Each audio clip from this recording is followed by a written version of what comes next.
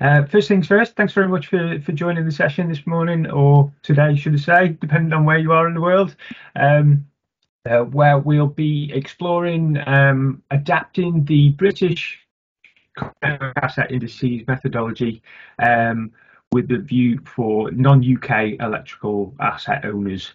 Um, so just a very quick introduction from me. I'm Chris Given. I'm Strategic Bid Manager here at uh, EA Technology. Um, we also have joining us today uh, Joanne Peacock, who um, I've noticed there's some uh, some uh, names that are recognised on, on, the call today. You will be familiar with Joanne. Uh, Joanne heads up our uh, asset investment management team. Um, where we support businesses with asset investment planning uh, through our Invest software and a range of associated consultancy services.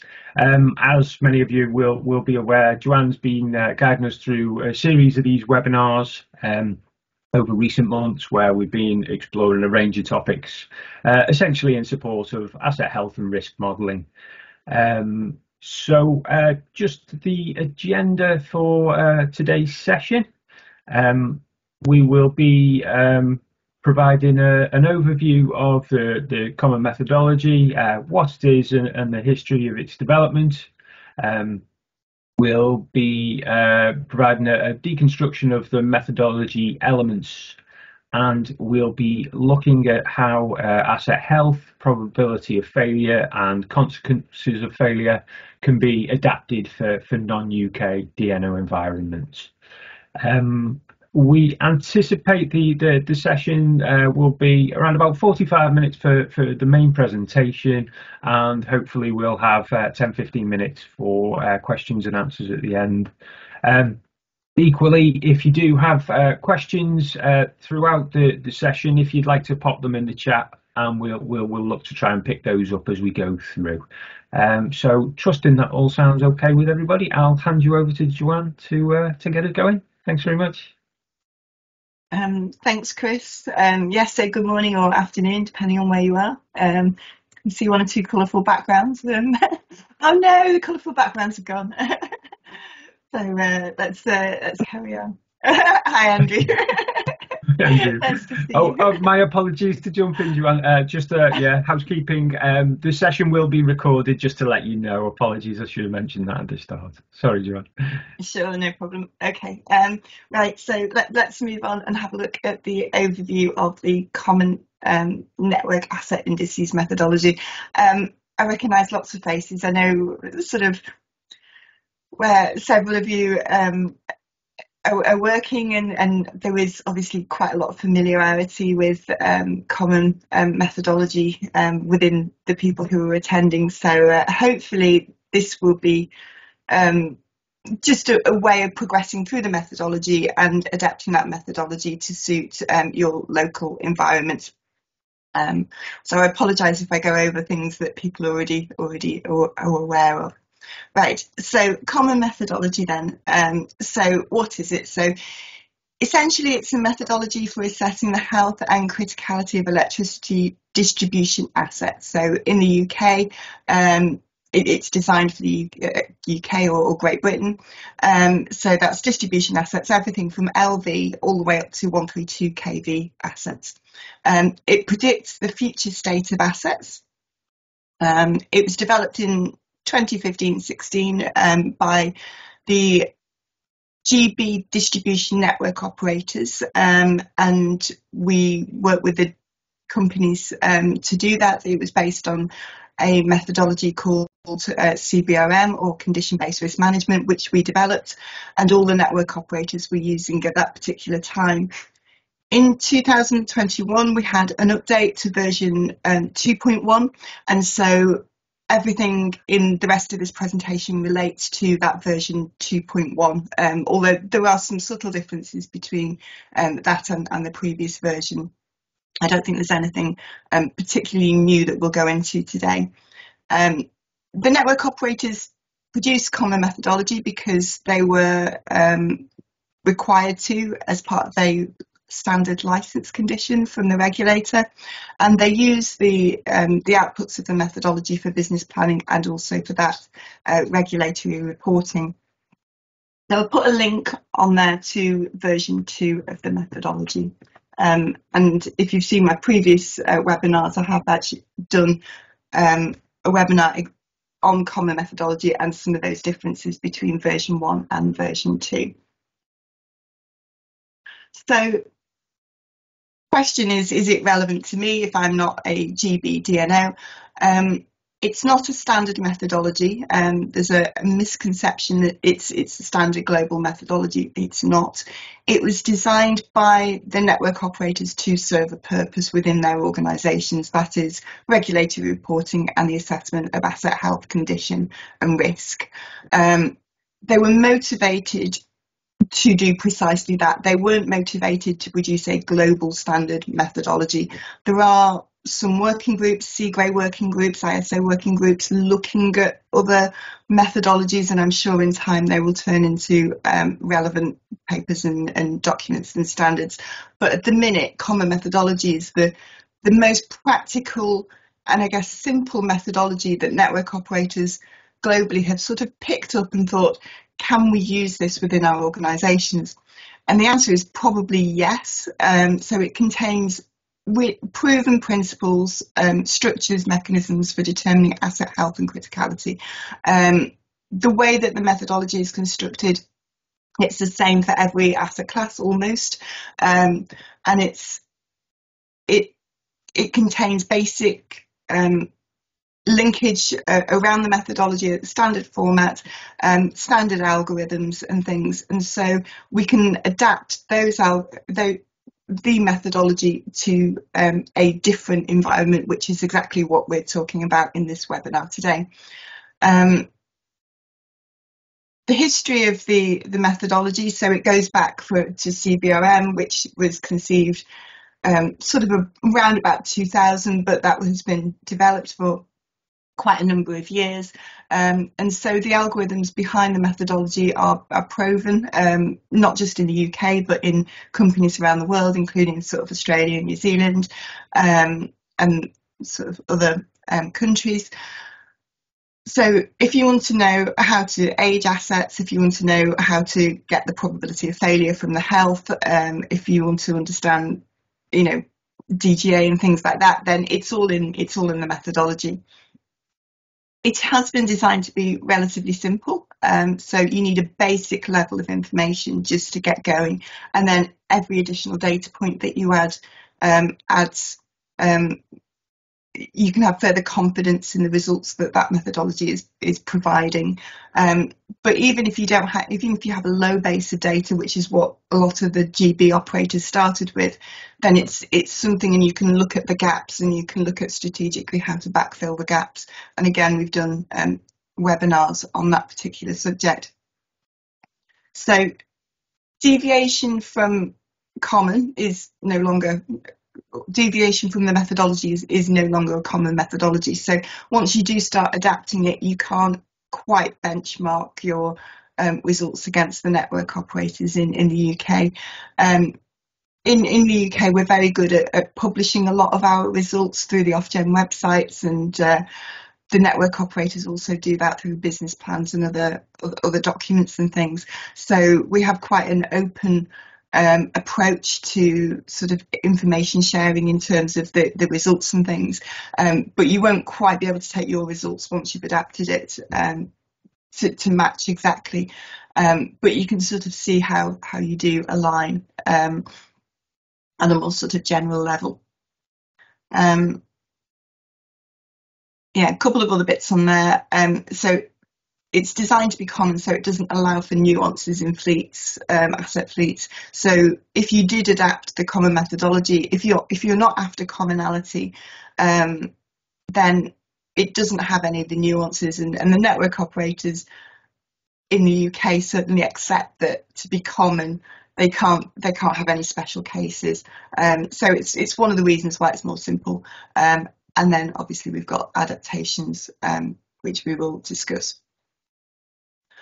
So this is just a quick um, timeline just showing you how common methodology fits in um, with CBRM, condition-based risk management, and also where it's going next. So as part of the license conditions, the network operators need to continue to update the common methodology. Um, and currently we have got a working group with the GBDNOs where we're doing just that and we're talking about what would common methodology 3 look like. Um, so the way that's progressing is that we're unlikely to do anything significant to the current sets of asset classes that are in there. They're probably going to stay as is, except for um, there's a submarine asset submarine cables asset class that will change a little bit. Um, there will be some new and adapted calibrations, but substantially that's going to be the same. In the UK, we've got 61 asset classes that we look at, and there's a desire to move more to around about 104 um, asset classes or towards that that end that range. Um, CNAIM covers about three quarters of the assets that um, network operators own currently. Um, so there's a desire to increase that. Um, but with that, that will mean that we start looking at some different model structures to cater for assets where there's low volumes of data um, and low confidence in data. So we might be looking at things like population based um, models for some of those, and we might be tackling some of the other asset classes which are just a little bit more challenging. Um, so that's where we're going with CNAIM 3, um, but there won't be a webinar on that for a little while because it's it's quite it's quite new. Um, but as you can see, CNAIM 3 won't come into play until 2028. Um, so the network operators need to start planning for that now. So we need to start having a methodology worked up in around about a year to 18 months to give them time to get all their processes in order, to collect any data that they need to collect, to embed it with all the, their sort of other reporting and IT systems and things. So it's a really long process that they're going through. Um, so they're starting to do that sort of essentially now, although they will run out of time um, to be confident in whatever CNAIM 3 looks like ready for 2028. Um, that gives you an idea of their kind of planning cycle.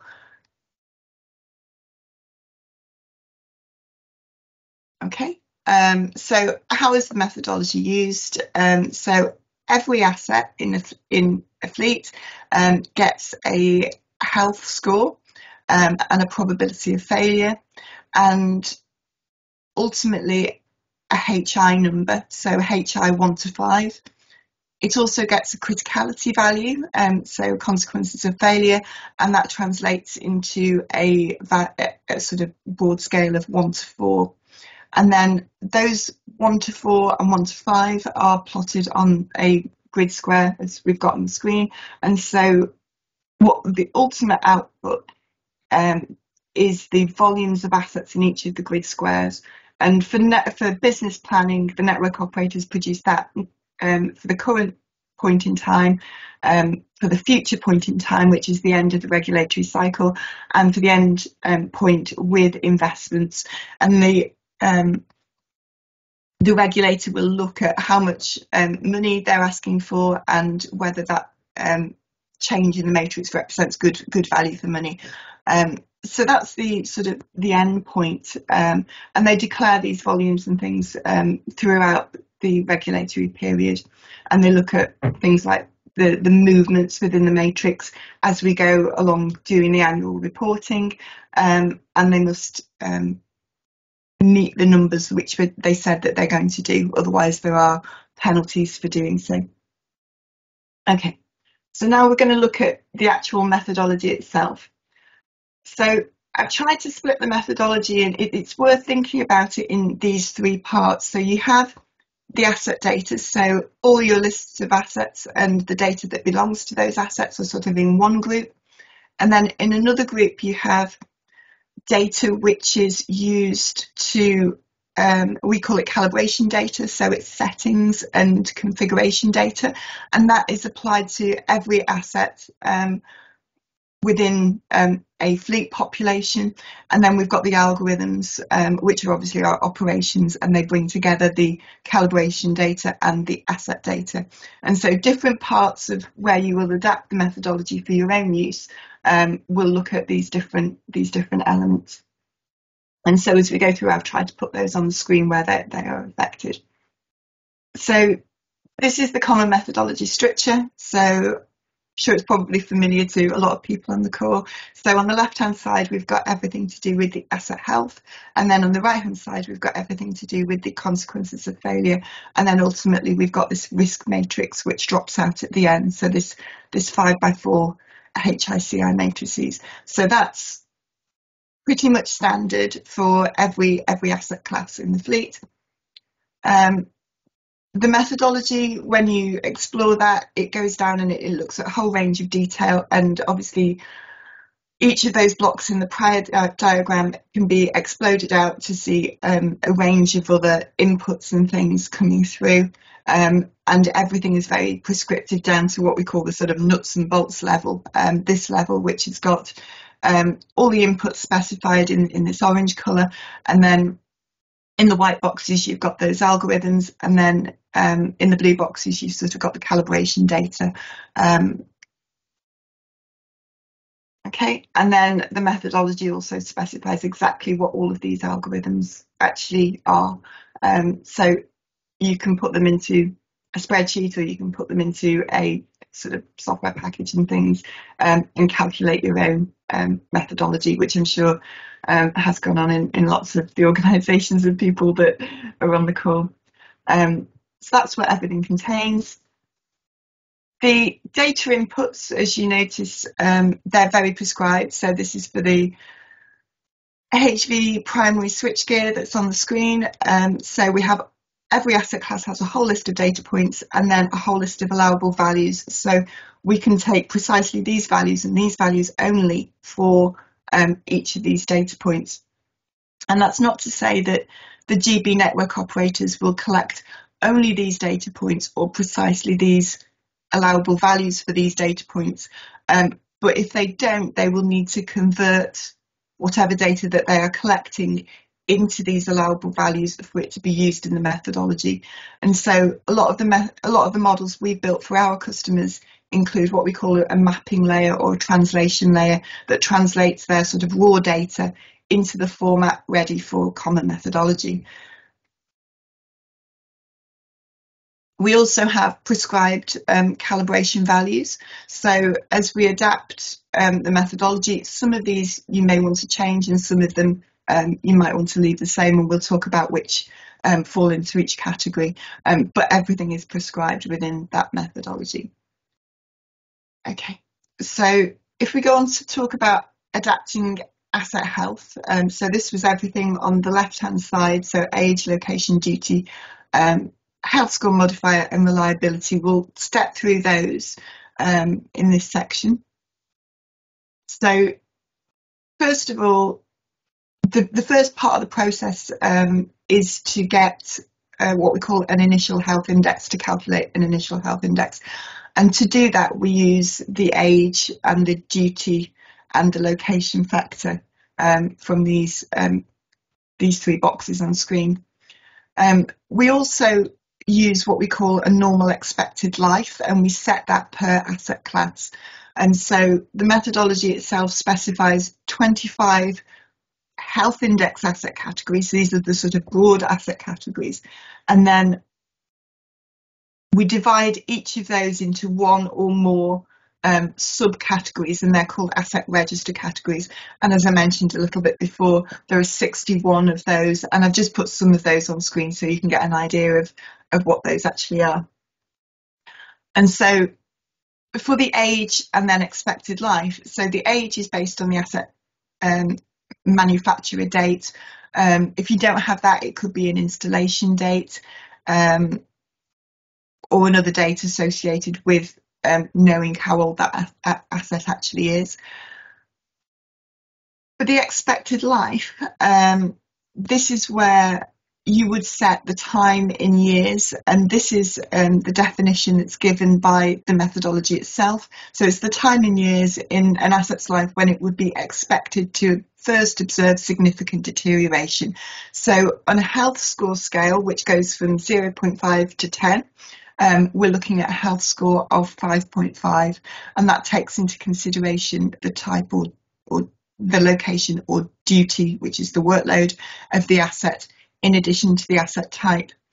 So the first thing you'll notice in terms of adaptation on here then is that you are potentially not going to have the same assets um, as the common methodology. Um, so your voltages might be different and your your asset types might be different. Um, so there's some work to do there initially to map your asset classifications into the list of classifications that we see uh, at a sort of broad range and then also at a detailed level. So immediately, right at the very beginning, we are starting to to make some adaptations, but hopefully you can start to see where your assets would fit within these classifications. In terms of expected life, um, normal expected life set by the methodology, which is also on screen, a little portion of it. Um, everything from sort of 25 years all the way up to 100 years is set as expected lives. So switchgear and transformers tend to be around 50 to 60 years or 40 to 60 years.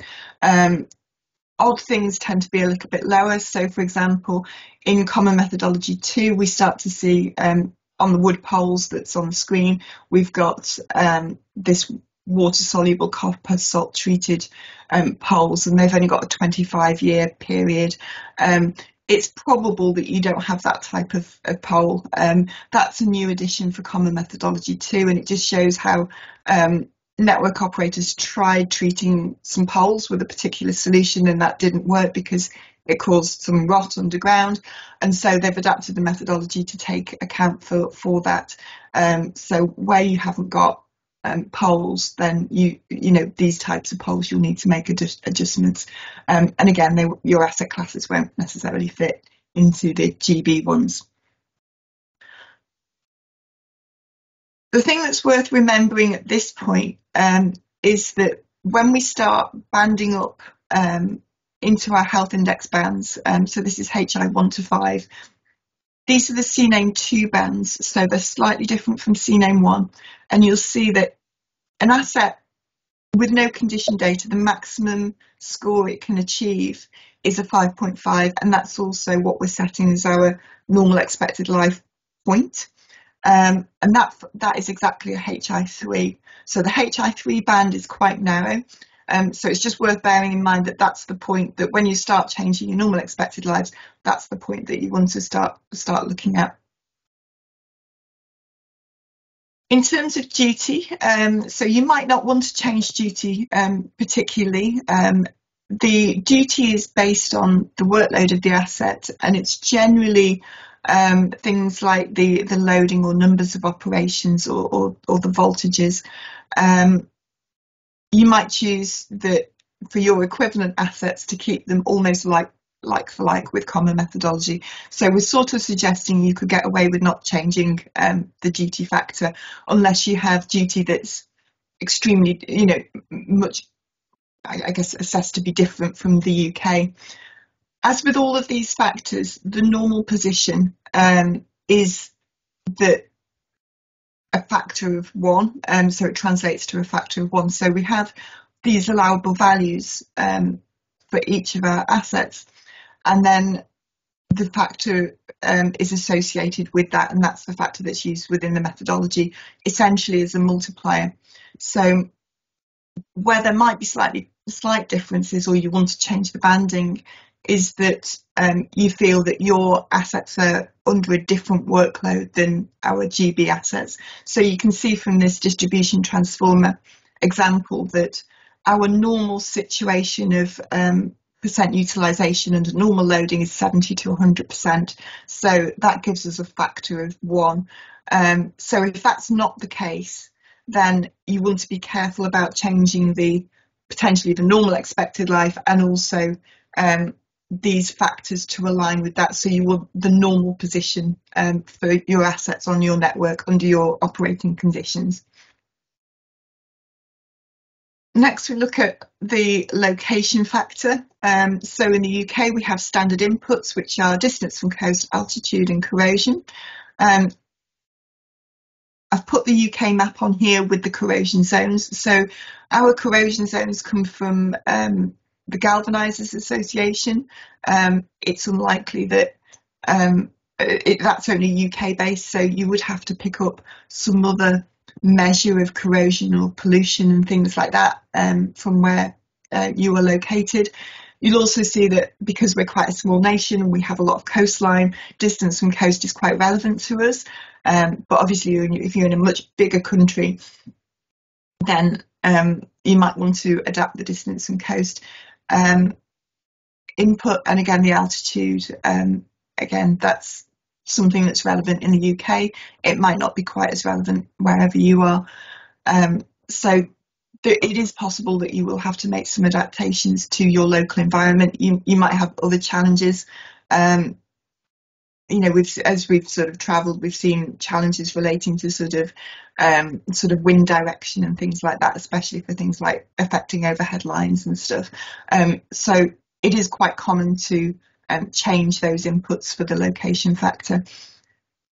If you do that, you'll be affecting the data um, as well as the calibration um, settings for those.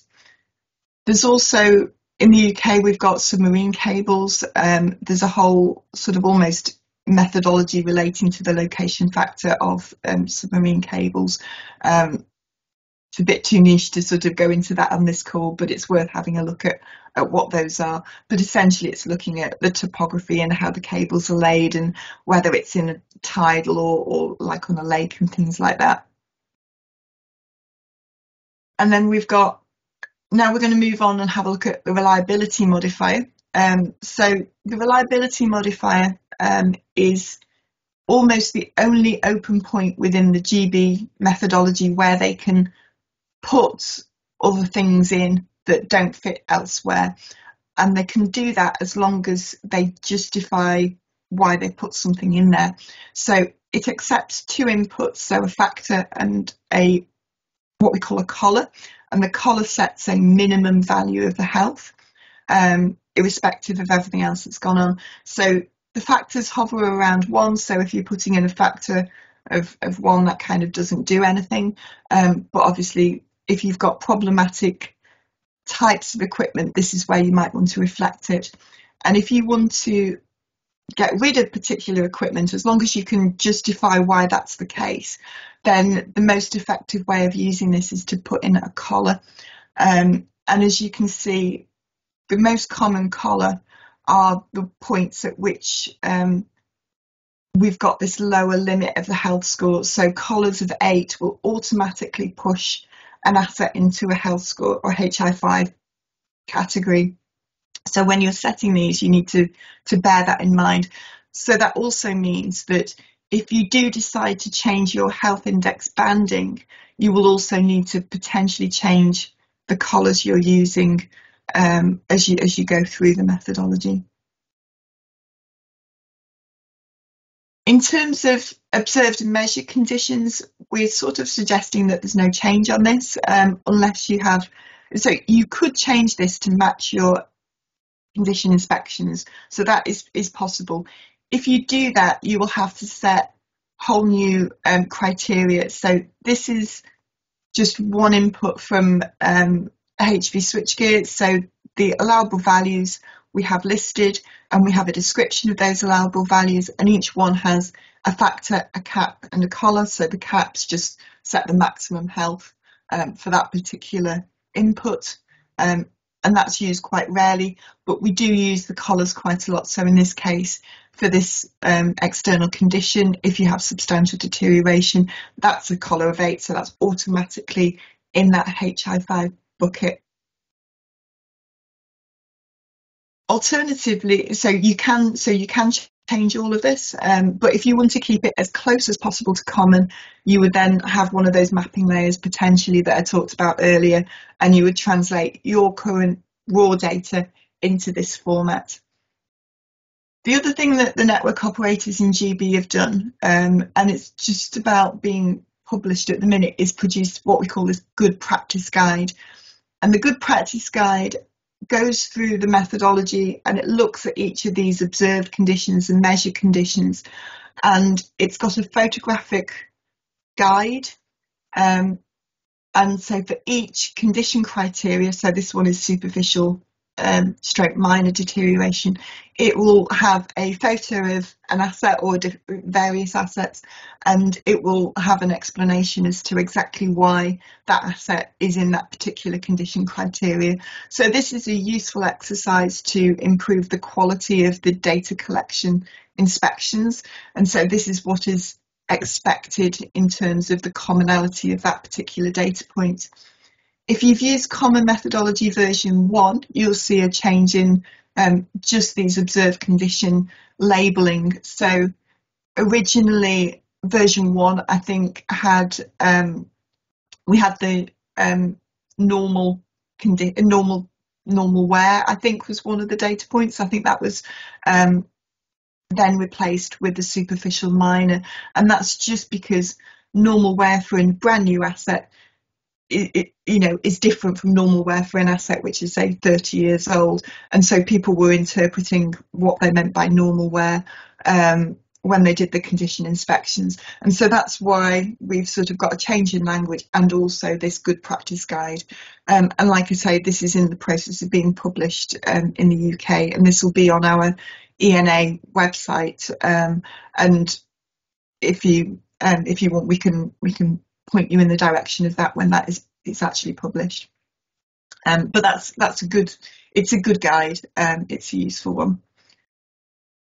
So then adapting. So that's all the health stuff um, that you'll need to change. So anything I've not talked about is generally considered to be the same. So all the algorithms and everything um, generally we would suggest keeping the same as common methodology.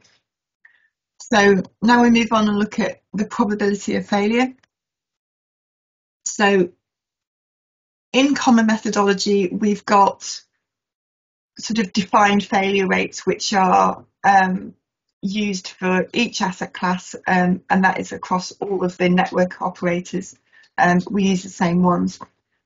But if you're using the methodology, you'll want to potentially change the, um, the, the failure rate to suit your own particular environment.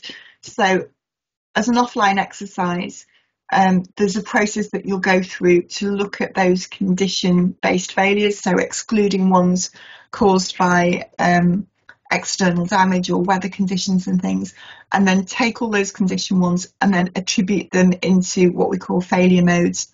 So the common failure modes are catastrophic, degraded, and incipient, um, and I put a description of each of those. And then for each of the asset classes, We've also got um, a distribution of how those failure modes occur. So that's quite different depending on um, which asset class is which. And then also the likely cost of the different failures um, for those failure modes. So like I say, this has been an, an offline exercise. In terms of the formula for the asset health, um, we've got um, this cubic formula, which um, I'm not going to explain at this particular um, in this particular um, junction, but um, it's fair to say that when you've got your failure rate, um, you then need to turn it into this value called K to fit into the methodology. And K is used as a multiplier into this cubic equation. And I've got a quick sort of diagram of how that works. So once you have all your asset health, um, you can plot them on a our probability of failure um, curve, and then define your overall known probability of failure. And then what the k value does is it multiplies up and it matches the assets onto that onto that um, probability of failure um, uh, onto that failure rate um, curve. So we're looking at um, applying that algorithm um, for every asset in the in the population. But first we need to determine what the value of K is. And I've done this very simply, um, just as an example. Um, just excuse me, excuse me a second.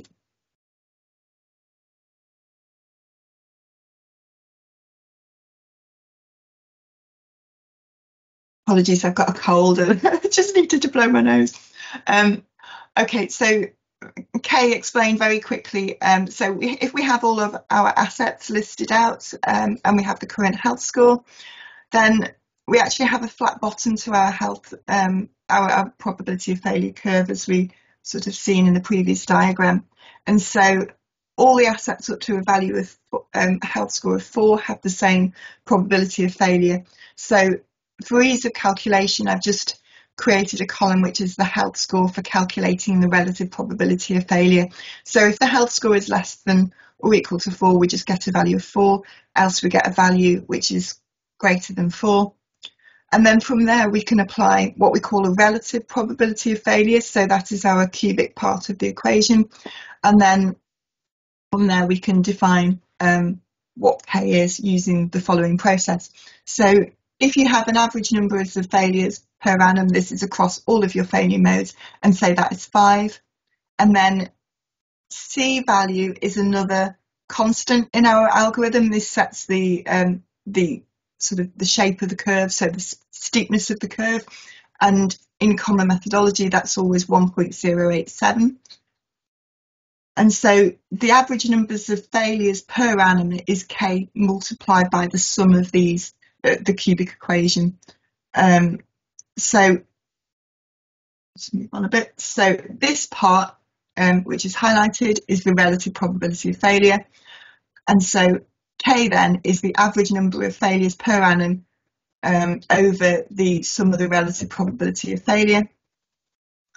And so when we apply the relative probability of failure, we can sum all of those up and we can do that equation to get our value of K.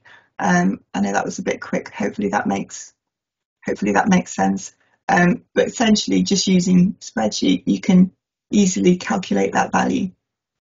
And so another sort of quick check is that um, if you then apply k times the relative probability of failure, then once you sum all of those up as well, you should get the number you first you first came to. So that's um, calculating k. Um, so then we'll just move on and look at adapting consequences of failure. So again, back to our common methodology structure. So on the right hand side, we've got all of our consequence categories. And the way that the methodology um, defines these is that for every consequence category, we have a reference cost of failure, which is the average per population. Um, and then we have a criticality factor, and this tells us how important each asset is so if you have no criticality information, every asset will be exactly the same as every other asset and it will be the same as the reference consequence of failure. So back in terms of the banding, so criticality banding this time.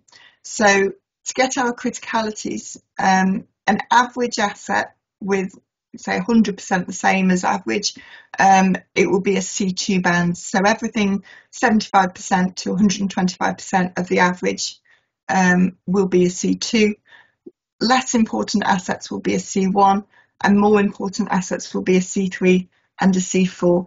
So again, if you're looking at changing these bandings, you'll need to bear that in mind um, when you're changing calibration values.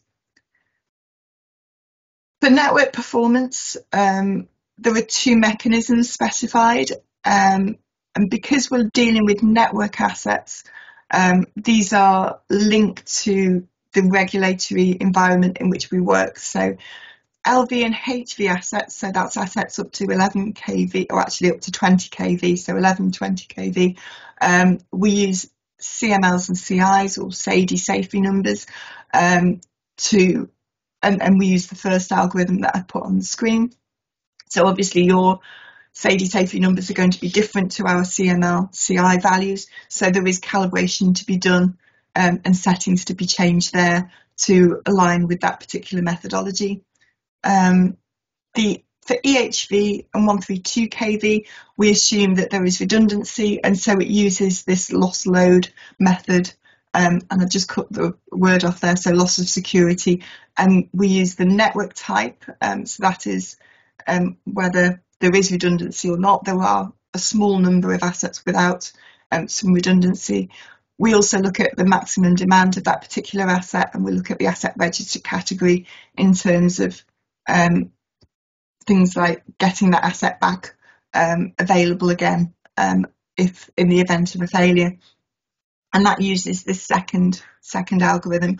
So of all the of all the consequence categories, this is the one where you'll need to apply your own uh, calibration to these um, to the inputs coming in. If you're not a network company, then these two mechanisms might not be sufficient to reflect um, the effective operation of an asset. And so, where we've worked with um, industrial type customers or other other types of customers, um, then we have actually changed this for a different a different mechanism, um, depending on how the assets are are operated. For safety, um, the data inputs we look for are safety type and safety location. Um, so safety type can be things like um, like insulation medium and, and that kind of thing.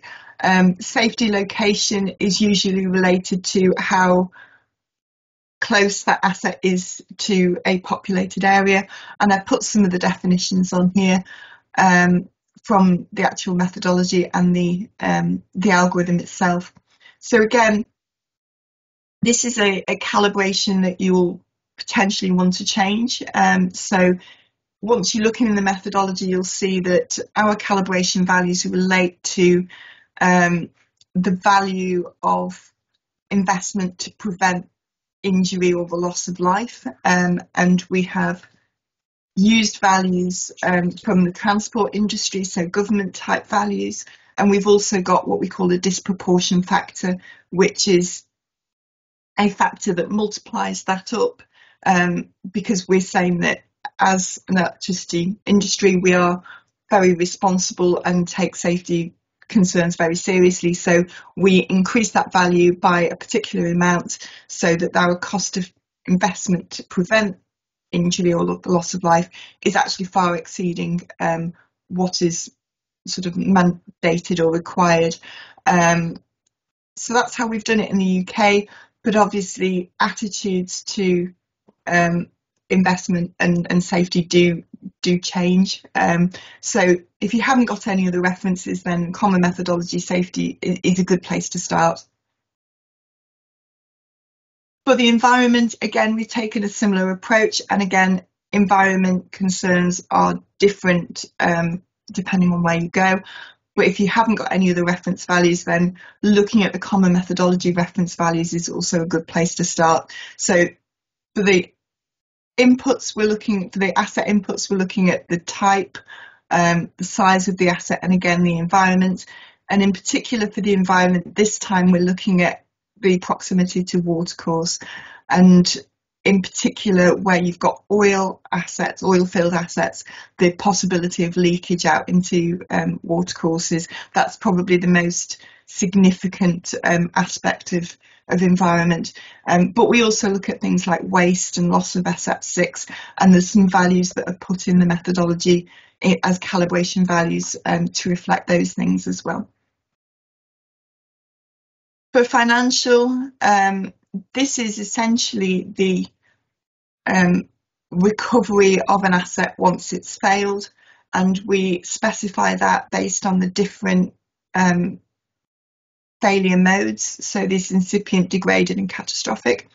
And as a guide, um, the reference cost we've got for catastrophic is the, up to the full value of the asset. For degraded, it's up to 25% of the asset, and for incipient failures, it's up to 10%. So again, this can be quite useful as a gauge for when you're looking at your failure analysis and putting that into um, your different failure mode types and getting your different volumes.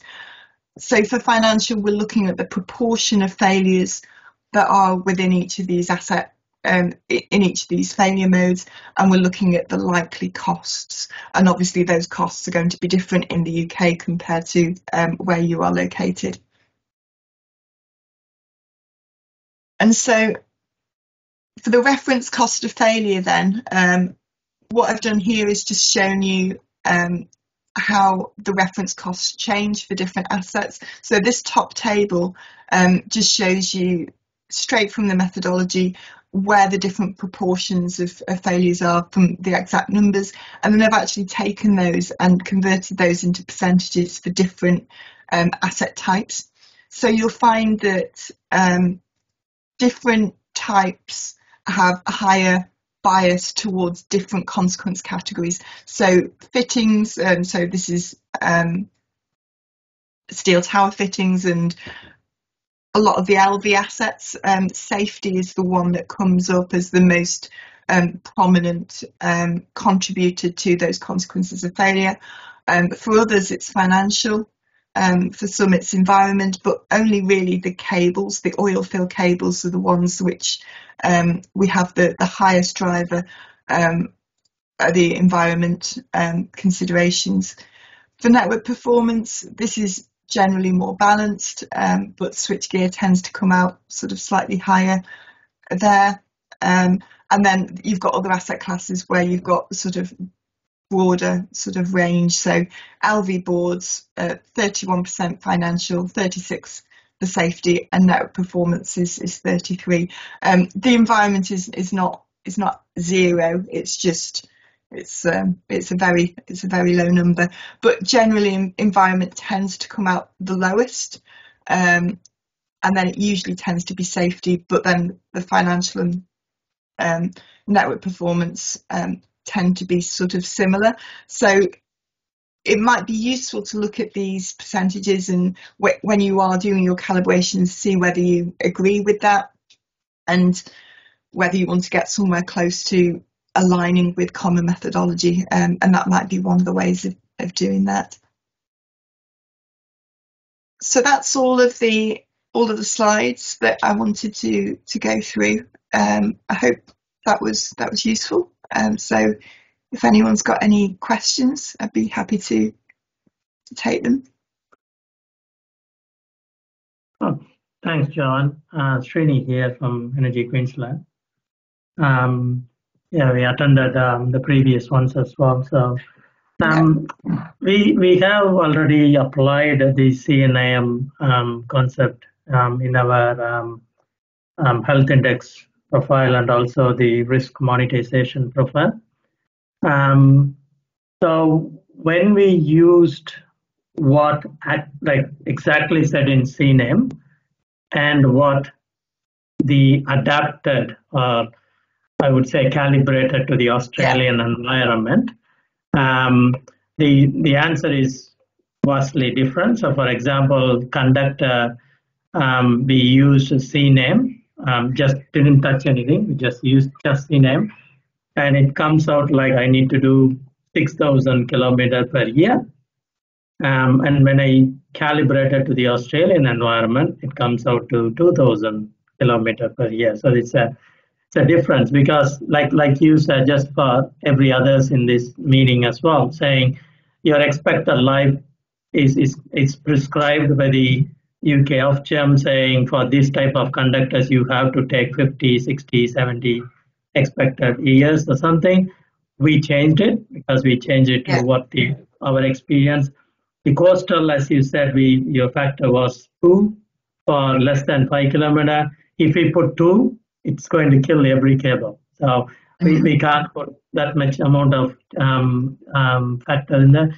So, so my question is towards once you swayed away from this CNAIM numbers, which is, in my view, CNAIM is the, the benchmarking um, tool for Ofgem. So every DNSPs in UK use the same number, so they can put everyone in the same plate and they can compare. Yeah. So am I right? Yeah. And so that's the reason they were providing the reference cost of the failure. So for example, LV pole is 500 bucks for 500 pounds for safety and those sort of things.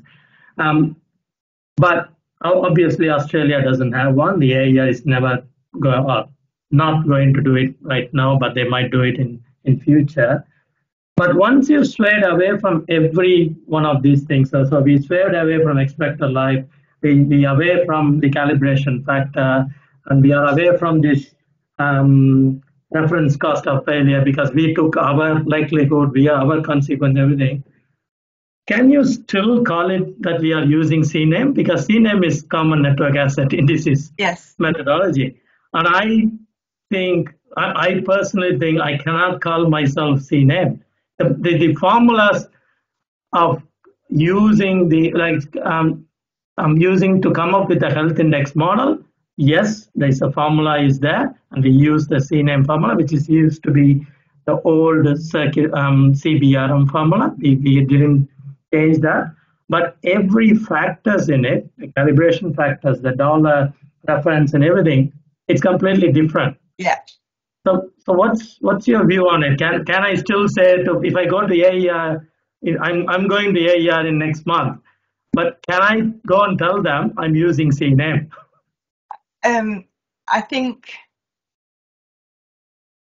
I think I would use slightly different language. Mm. I, I think that um, I would tend to say that you, I would use I'm using a CNAIM type or CNAIM style methodology. So that is based on CNAIM. Um, so Yeah. you can say, ba- and, and it's funny, what um, Chris and I had quite some debate over the naming of this webinar. so um, you can, yeah, so can't remember what we quite landed on now, but um, you can say it's based on the British standard CNAIM Hmm. methodology adapted for the Australia environment. And I would tend to label it like that because you still want to have that reference to the fact that you're using what is a standard, even though it's not a Mm. standard in Australia, and you're still using a lot of the same algorithms, the same structures and, and formulas. You've just adapted that into um, something that then Mm. um, is, and, and this is why I've separated out those, uh, you know, those calibrations as a chunk. So it's it's a useful way of thinking about it. So you've got the asset data and you've got or mostly the same asset data. You've got mostly the same algorithms, but you've got this different with the calibrations. And so you Hmm. can't call it sort of, it's not CNAIM, but it's CNAIM style or CNAIM type. Yeah. Um, but as, as you've realised that probably something that I should have mentioned is that it's really useful to go through the methodology parts, starting from the age expected life and then working down towards, you know, duty location and your observed conditions. Mm. And the normal process that we would do that, and I'm sure you've done the same as you've changed lots of things, is to go through and say, does this come up with the right values for the right factors? Does Mm. this now reflect what's going on with our environment for our assets? And you're making those checks at each point, and then by the Yeah. time you get to creating your health index, you're saying, you know, do our engineers agree that this reflects the condition of our assets? Yeah. And Yeah. you know, even by the time you get to the end where you're saying that you've got now 2,000 instead of 6,000 assets for replacement, is that, you know, do your engineers agree with that process and Yeah. is is that the right thing? And and we would look at things like assets that are coming out with low health scores. Does that match Mm. the data coming in? Can we follow that? Does that make sense? We look at assets in the middle. We look at things like young assets in poor condition, old assets in good condition, and you do those checks and measures at the end. And it's Mm. by doing that that you'll understand that whether your calibration is is working or not. Um, and it's easy to do that with assets like transformers, where you've got potentially less of them, um, or taking a sample of you know highly populated assets like conductors or poles or something like that. So it Yeah. sounds like you've gone through the right processes to Mm. get to your results. Yeah. And that's, So don't that's be why, disturbed. That, that will be different from. yeah, and that's why I used a CBRM slash CNAIM principles. I just Yeah. used both the name in my Yeah. business case. So, you know, CBRM is well known with the Australian AER as well. So when I put CNAIM there, they understand. And it's all derived from CBRM. So the CNAIM is derived from.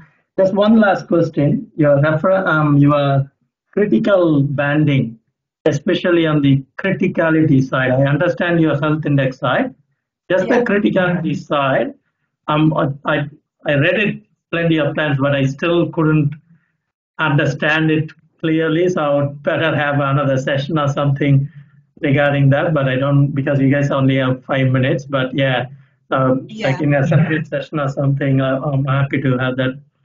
Um, Yeah, I mean, we could potentially do that next time in terms of looking at um, the critical. I mean, we could look at take a deeper dive at the the health index or the criticality side of them because I, I think this is webinar number seven now, and and I realise that I do only a very light touch on on those, and um, yeah, a sort of deeper dive.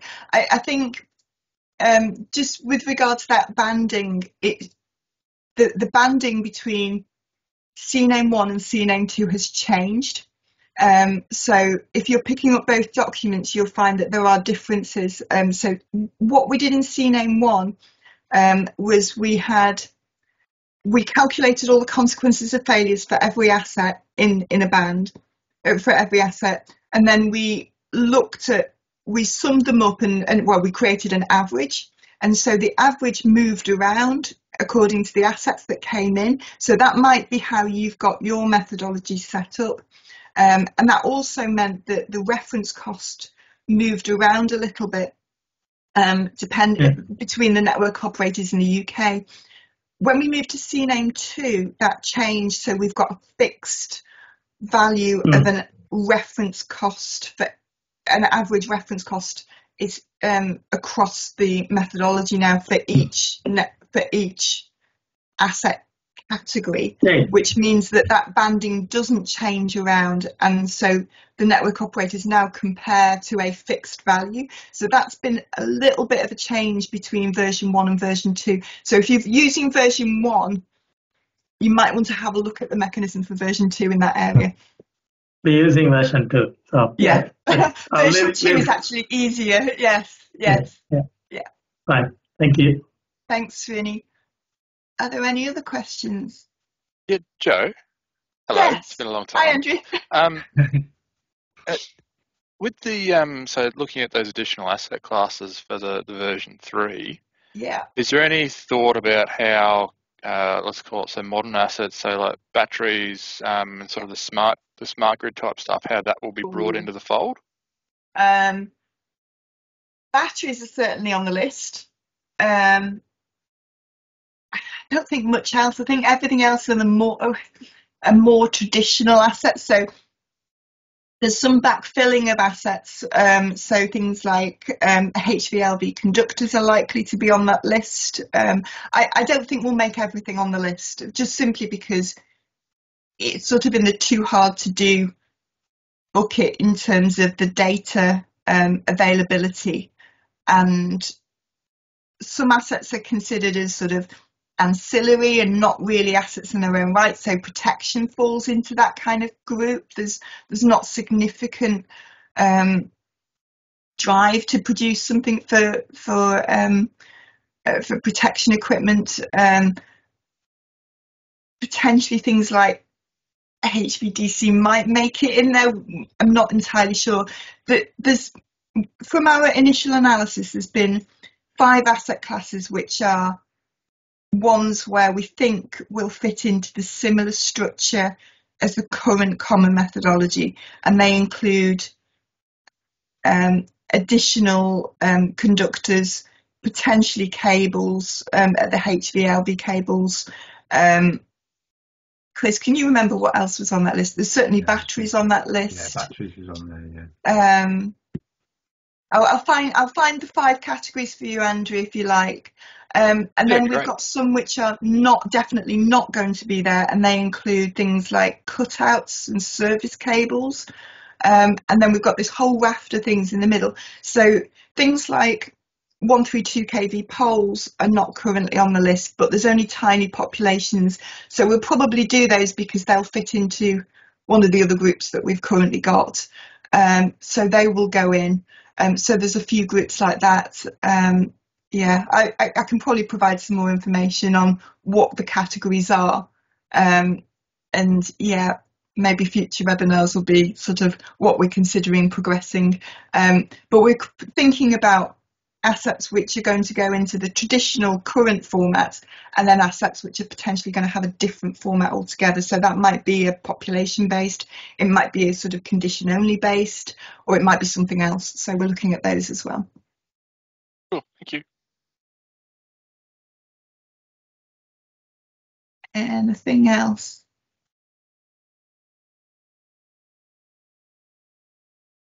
It's all maybe it's quiet. Too late for maybe it's too late for Australia. 6 p.m. here. Everybody's the time. sorry about that. Um, so yeah, so that's it for slides. Um, if you want to know anything about what else we do, um, obviously we've got our own software packages and we service the UK um, and um, other others with um, our own software. So in the slide pack, you'll see a few diagrams about how we represent our assets within our software. Um, and so just to close by saying thank you very much um, for your attendance this morning. Um, I know everybody's going to be sort of uh, Eastern um, from, from us, um, but if you are um, over this way, I don't know if we've got any European sort of um, representation, but we are going to be in CIRED in Rome in June. 13th to 15th. the next webinar will be the 28th of June. we haven't um, decided exactly which uh, what we're going to do for that webinar, but um, we will communicate. We will make a decision over the next few days and communicate that out. But uh, I think your suggestions, Srini, of maybe doing a bit more of a, a, sort of deep dive in, in some of those areas, that's certainly been on mm. our, our kind of list. But uh, if anybody's got any suggestions and preferences for that um, topics for the next or future webinars, then please do shout up and, and yeah, get in touch with us and engage with us. We'd be happy to have a chat. Anything else, Chris? No, uh, just uh, thank you to uh, to Joanne as ever for uh, for the, the presentation. Uh, really informative, and I'd like to also add uh, she looks very fresh considering she did a hundred mile run at the weekend. So uh, yeah, well done to mention Joanne for doing a, a, a hundred mile ultra marathon uh, at the weekend and still well being alive. that's, that's, a good enough win. Well done. it's a good enough win. My little motivation for that is I have this I have this amazing little belt buckle. Um, so it's a little gold belt buckle for my for my endeavours at the weekend. if it was me, I must admit, Joanne, I'd expect more than a belt buckle for hundred miles. But uh, yeah, congratulations. banana as well. Awesome I got a banana. oh, that changes things then. Absolutely. Thanks very much, everyone. It's lovely to see you on the call this morning or this afternoon, evening, wherever you are. Thanks, all. Thank Thanks you. for joining. Bye. Bye. Bye.